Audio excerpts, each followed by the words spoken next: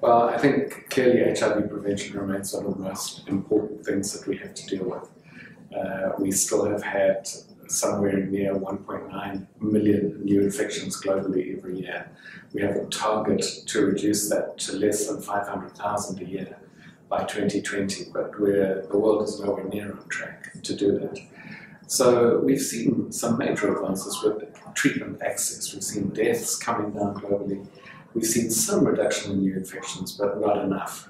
But I think the, the prevention field is at a very exciting time.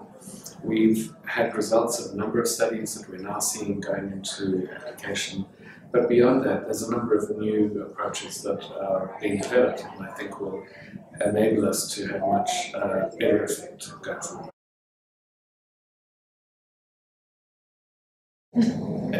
Prevention trials take some time, and so what we have had is a number of years where we have there been some big trials in the field, some of them being very successful. Uh, the, the use of pre-exposure prophylaxis of um, Truvada or uh, tenofovir and FTC for pre-exposure prophylaxis, I think is, is the game changer in prevention at the moment.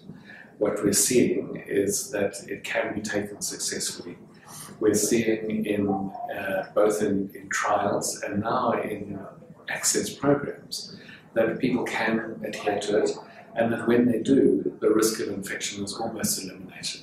A number of reports from uh, Northern California, a number of reports from elsewhere in the world showing very, very few people becoming infected if they use PrEP.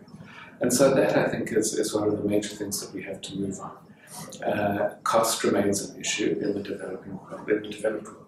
In the developing world, where generic drugs are available, the cost is not so much the issue as how you actually implement this within health services that are really strained and how you reach the people who are most at risk.